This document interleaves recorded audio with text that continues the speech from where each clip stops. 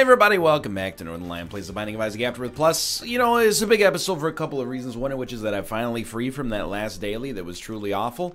The other one is that this could be our 10th win in a row. That's cool. I've been told, by the way, stop looking for both stopwatch and broken stopwatch. You don't get the stopwatch until you get 999 cents in your donation machine. Now, I knew that deep inside of the arcane knowledge of my cerebral cortex that information existed. I just forgot how to access it. You were right. That is the marquee unlock. Whew.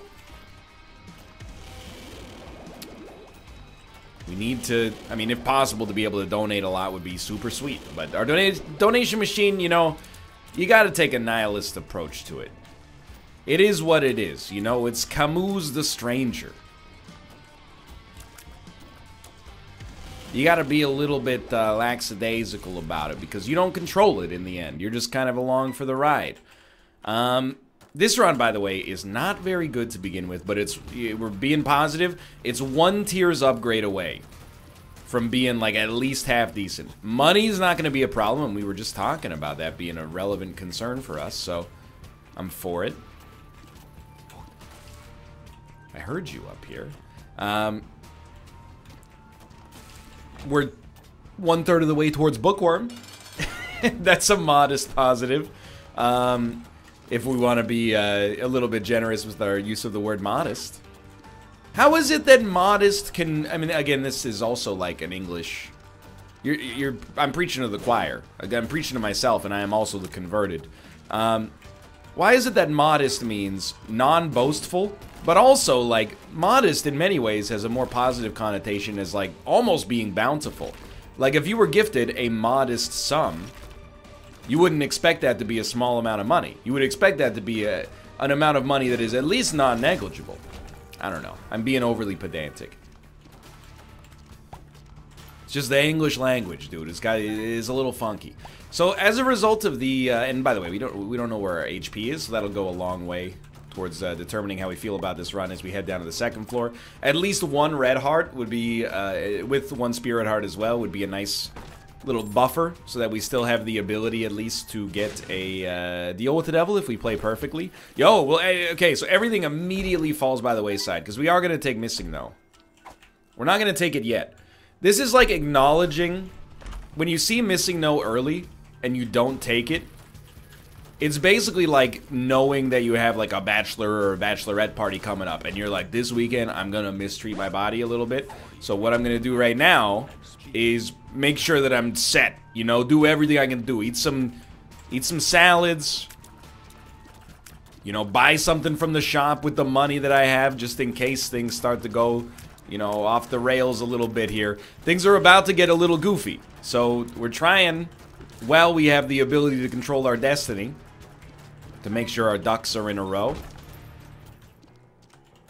What? okay, um...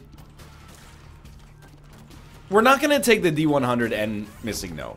Because it's just stupid. And I know that sounds uh, judgmental, but it, it's just kind of dumb. You'll breakfast yourself in half the time. What I'm to do, I'm going to go to the shop real quickly. And uh I mean, I don't know, okay? I'm going to buy boomerang instead of car battery because I don't want to double up on a reroll. And I'm going to drop to a hearts. I'm going to reroll everything including my run. Then we got a passive item, which I'm stoked about because our passive item is something that will aggregate as we reroll through Missing No. Then I'm going to come down here and I'm going to re-roll Tammy's head. Tammy's head turned into Pandora's box. Pandora's box gave us a little bit of HP. Okay? You see what I'm doing here? Just, again, it's the, hey, I'm going to eat uh, salads all day to make up for Friday night. We're coming in here. Give me another passive item, please. Plus, we're getting through Hemolacria. What a great day for us. Um, and to be honest with you, that's another passive item. I'm a happy man. And I don't think, in particular, we've squandered much. There's missing, no. We get re-rolled immediately. So we do get to keep the D100. But I'm not going to use the D100 Or at least I'm not going to use it much. I would like to replace this, to be honest. We already have the Zane.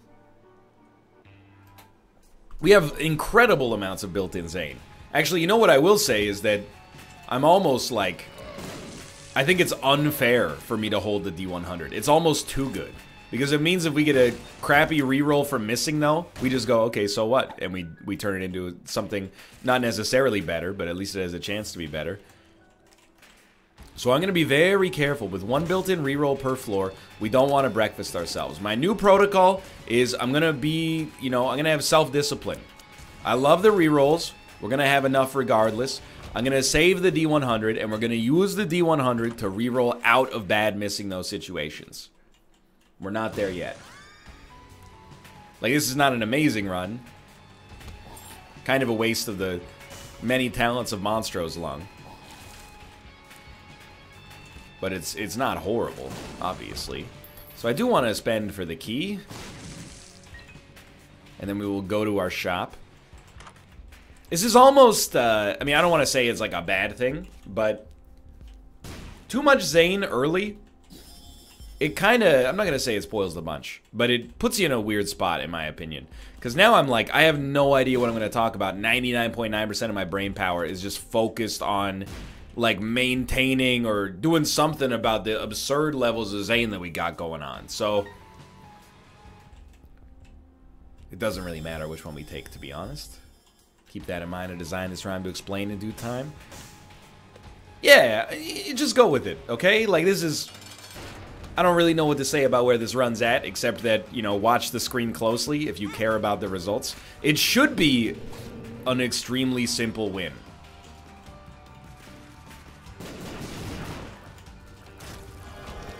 But you never know. Maybe two overpowered items is almost like a little dangerous here. I'm so eager to replace D100.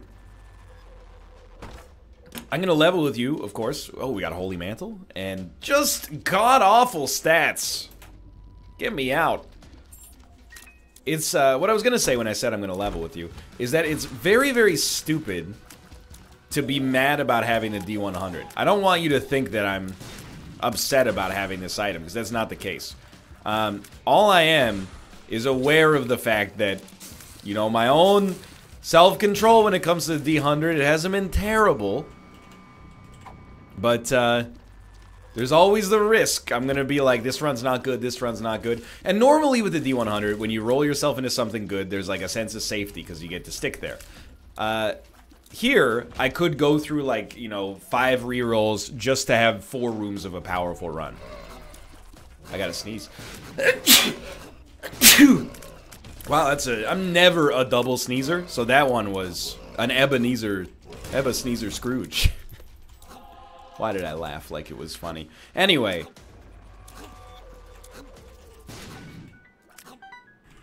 Wait, excuse me, sir. How rude. I think, uh, I think I got the right idea. I think my brain's parsed this run properly.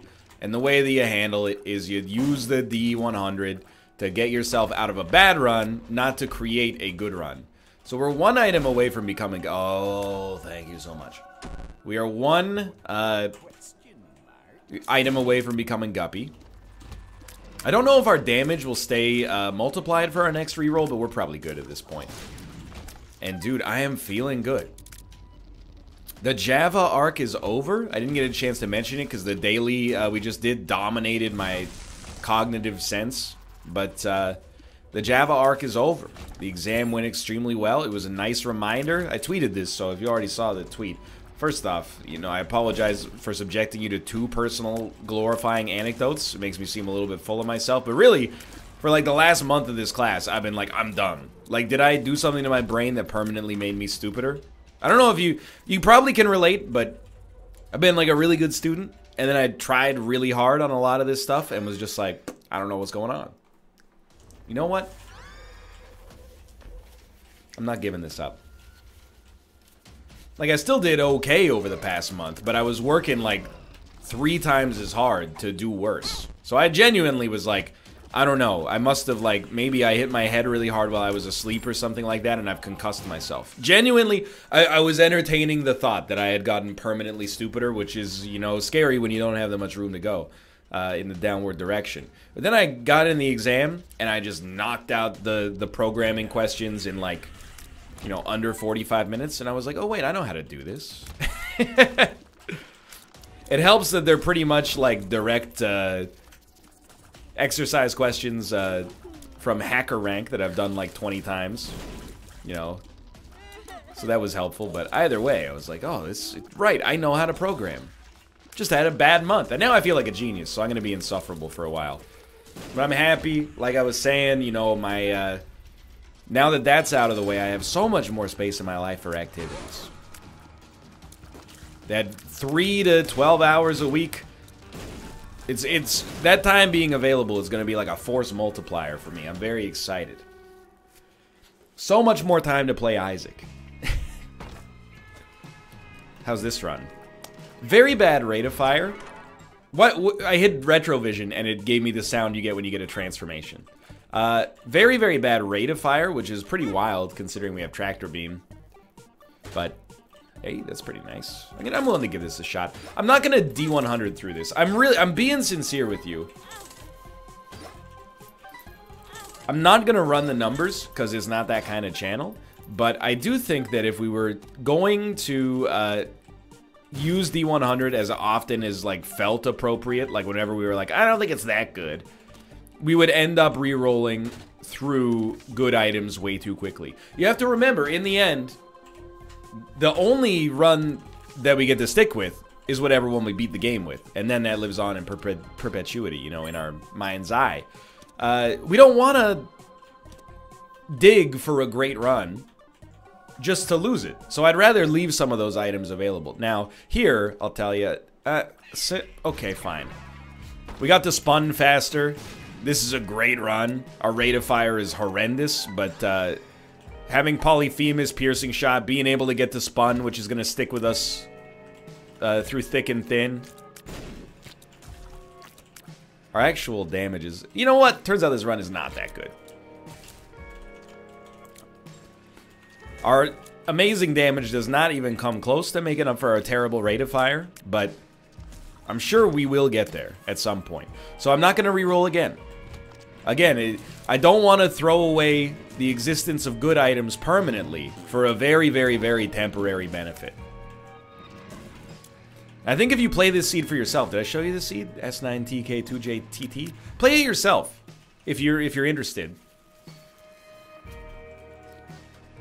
You know, see if, you know, you use the D100 as much as possible. Maybe you end up having a substantially uh, more fun run. Maybe you end up having an easier time of things. But I also think if you, you know, the reroll effects are magnified by having two items that do it. Dude, our spiders are so good. Okay, down to the next floor. I know we're, I wouldn't say rushing, but there's no real reason for us to be there on that floor, especially because we wanted to reroll the run. This is uh, Cursed Eye. We have 0.44 speed.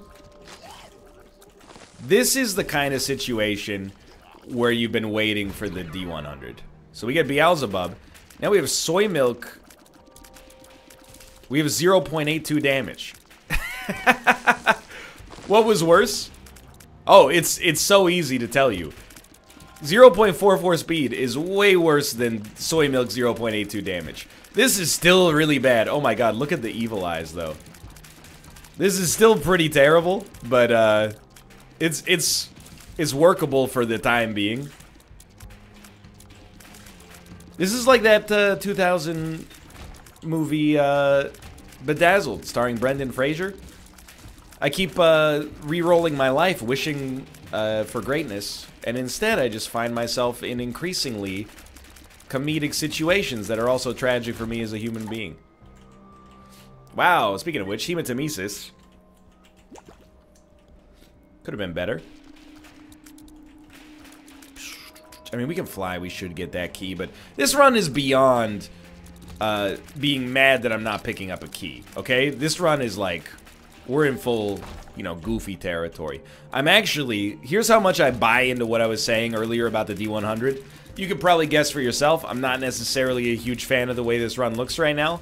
Um, I still don't want to use the D100 right away. If we can grin and bear it through this floor, I think that would be long-term the best thing for us. So I'm probably just to try to swing that. And we have 25 Mr. Mega Bombs. Who knows? Even the homing Evil Eyes, they're not getting it done. Please, I beg you. really? I didn't even pick it up. Broken brain. Maybe I did hit my head. Maybe I hit it last night after the exam, though. I meant to tell another story about the exam. One of the, uh, one of the students going to the exam got stuck in the elevator on the way up. And I felt bad. But, uh, you know, when the professor was taking attendance, one of the students was like, by the way, Jennifer's stuck in the elevator. And I laughed. I didn't laugh. I want this to be clear. I did laugh openly. But I wasn't laughing at Jennifer's misfortune. I was laughing because it was a funny situation, okay? If I got stuck in the elevator, I would want you to laugh when people mention it in class. Because that's just hilarious. You know, you're going to the final exam, you're all stressed out probably, you step in the elevator, er, you're stuck. I get, you know, if you're claustrophobic, whatever you know, it's not a pleasant place to be. She was out after like 45 minutes, but still, anybody from my class is watching this, I want you to know that that laugh was not a laugh of mean-spiritedness. It was a laugh of togetherness. I was laughing, I hope, with the rest of the class, who was laughing on the inside, but was like, I shouldn't laugh on the outside because that'll be rude. Uh, here's the thing. If I ever get trapped in an elevator in a situation that doesn't affect my health in any way, I hope you laugh about it. There, uh, hopefully my misery can bring a little bit of joy into the world. But then my professor got to me and he was like, why aren't you sitting in your usual seat? And I said, someone left a bunch of garbage in my seat. So I just sat over here. And then the dude who had sat across from me was like, that's not garbage, that's Jennifer's belongings. and that time, all right, I'll apologize for that one. I will say, I was not trying to call her belongings garbage. Sorry, I had to blow my nose a little bit there. All I was... I was mad because there was like an orange juice carton there. And I was like, why is someone leaving their garbage at their desk when they're not in class? Like at first I didn't sit there because I was like, oh, one of my other classmates is taking the seat. And that did indeed turn out to be the case. Um, but then I was a little peeved. I was like, oh, somebody came into the classroom maybe from the last class and then didn't clean up their trash. So I called it trash. It turns out one man's trash, another man's treasure. I don't really want to do boss rush. I mean, we're not going to do anything with Ipecac on this run anyway. Just, just send me, dude. So that one, oh, we got Guppy. So that one I'll apologize for, okay? Even though I think it's an honest mistake.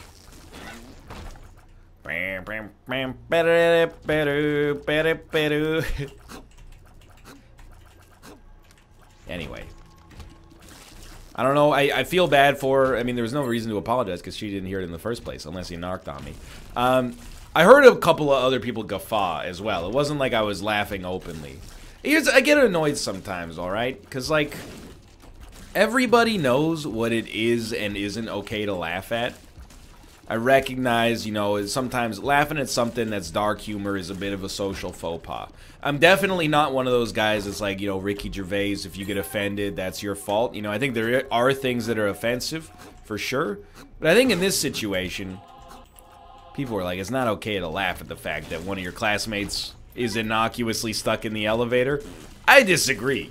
I recognize it's a slightly, it's a schadenfreude thing to laugh at. It doesn't make you a bad person to laugh at it. Absolutely not. I, I don't think so anyway. Sometimes, not all the time, sometimes people trip over themselves and they will be like, you know, it's not okay to laugh at that.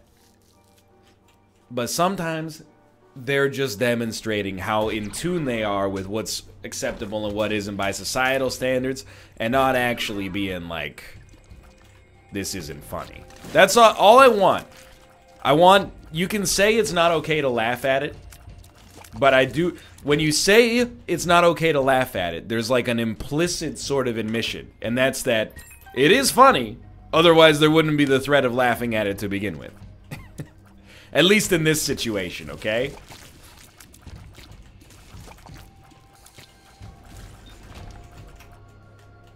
You may disagree. Maybe it makes me a terrible person.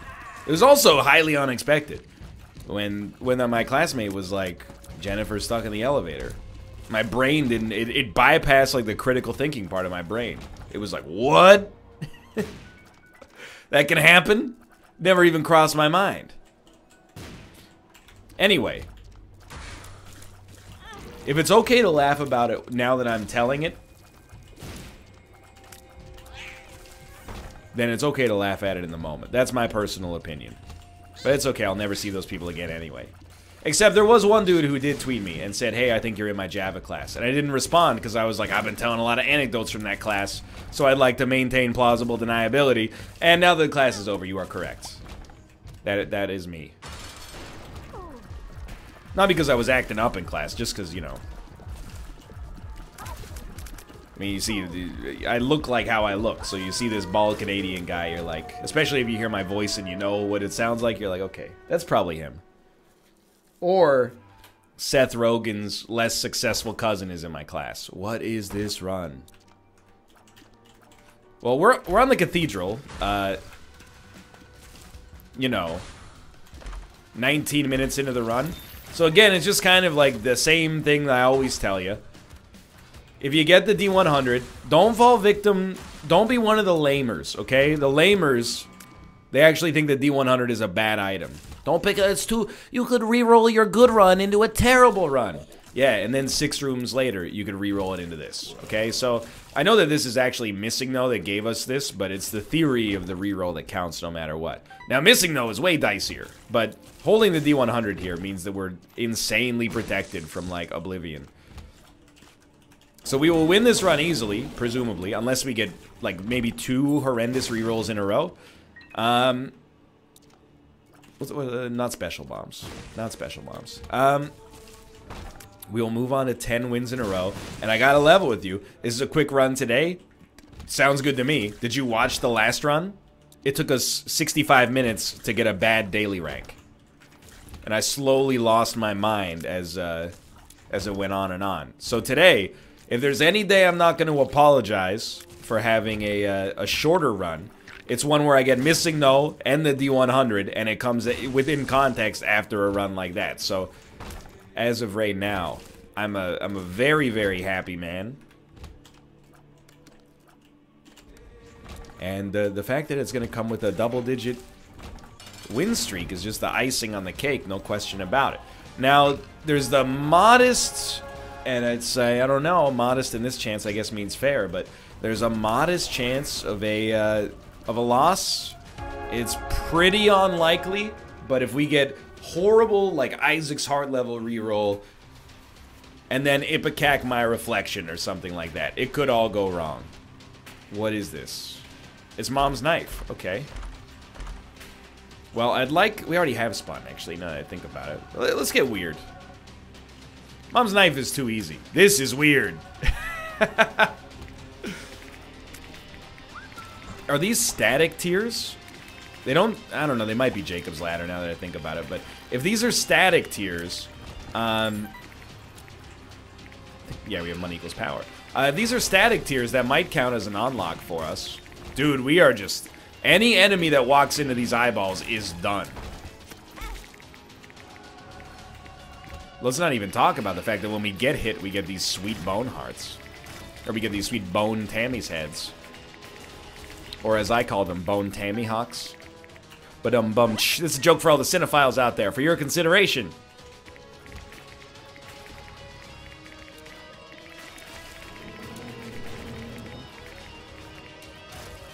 Nope.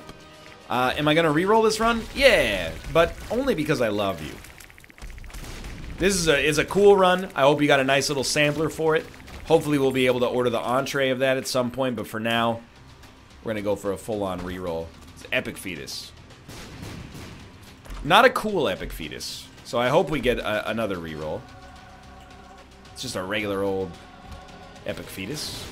I mean, it's doing a ton of damage. We have Infestation 2 on top of that, so... No, looks like that's how we're going to finish the run. Well, there's my largest mistake of the run, maybe. Shouldn't have gotten rid of the cool eyeball tears, but hey, we had the chance. We had the chance to pick up one more cool thing, so it felt like uh, the right time to try it. Easy money.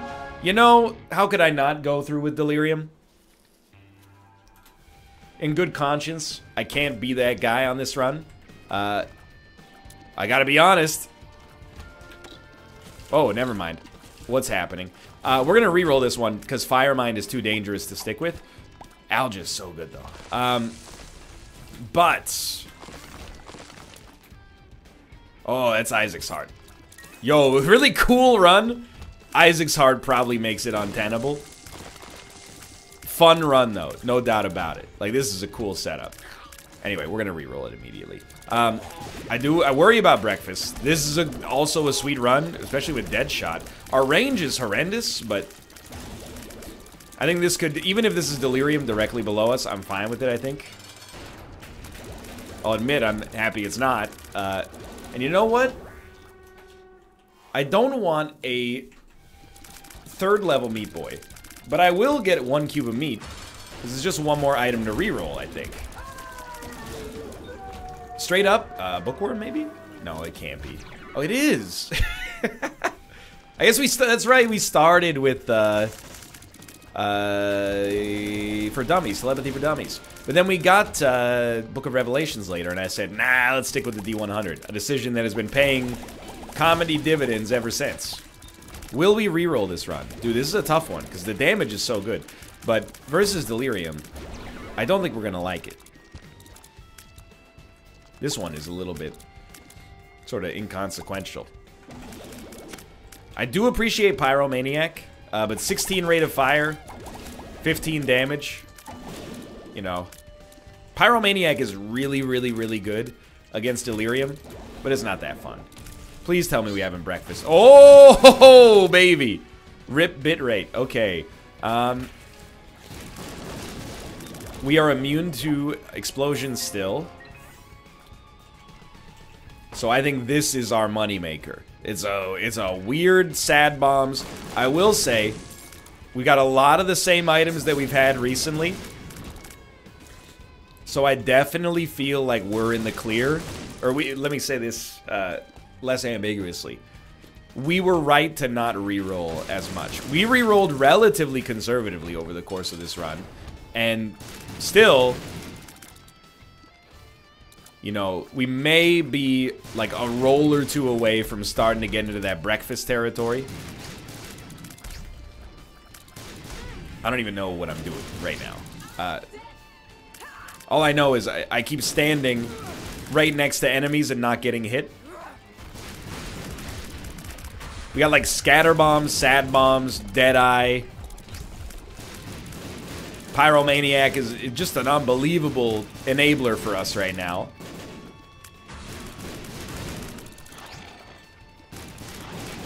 Could use more than 12 range, admittedly. But dude, this is like... We ended the run with strong Zane. That's where you always want to be.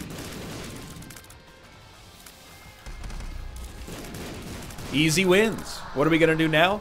Completely re-roll and see if we would have breakfasted ourselves.